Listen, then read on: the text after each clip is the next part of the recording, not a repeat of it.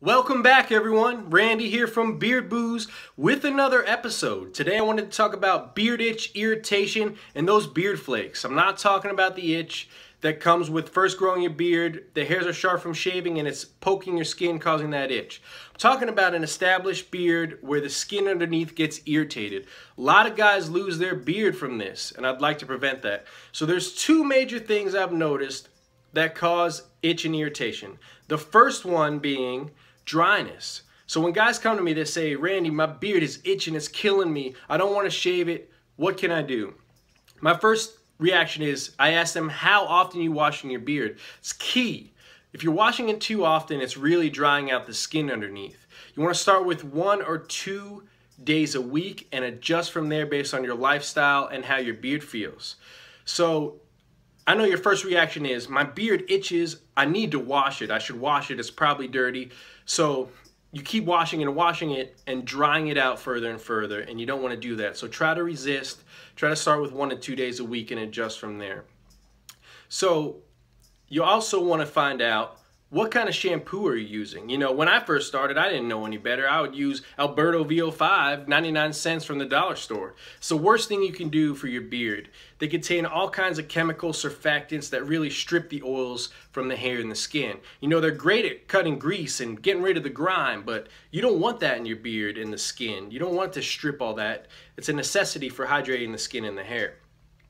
So next you want to make sure you have a good quality beard oil, nothing containing silicone or any kind of cone ingredients, all natural oils, olive oil, sweet almond oil, jojoba oil, those types of oils. So a lot of guys will get in this vicious cycle of using a cheap wash where it strips all the oils from the skin and the hair and then they're going to use a conditioner, um, a beard lotion or a butter, all these different products. You really should only need a quality beard wash. A quality beard wash will leave your beard feeling hydrated and feeling nice. And then a quality beard oil. That's all you should need in your arsenal as far as keeping it clean and hydrated. Now, balm's another story if you're wanting to shape it and everything. So, don't get caught in that vicious cycle.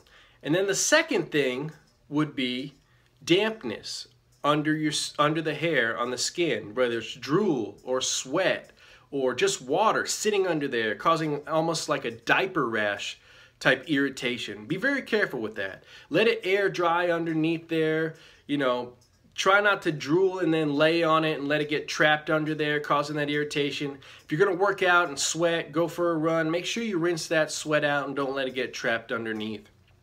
Those are the two major causes that I've noticed through my experience that cause these beard itching and beard flakes.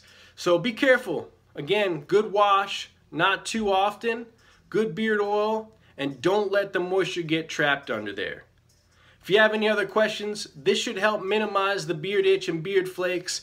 But again, if you could think of anything else, message us, social media, comments, Look forward to hearing from you. Thank you so much for watching. Thank you so much for subscribing.